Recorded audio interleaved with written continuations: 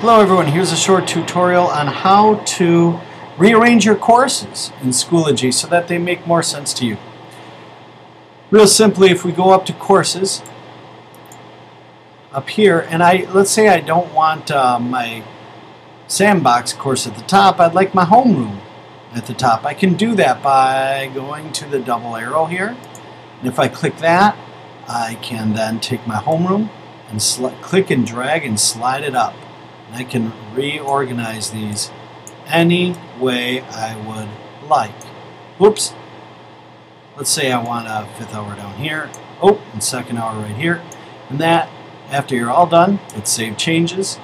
And you'll see that your courses have been rearranged so that you can get them in some sort of order. There you go. Here's your quick tip.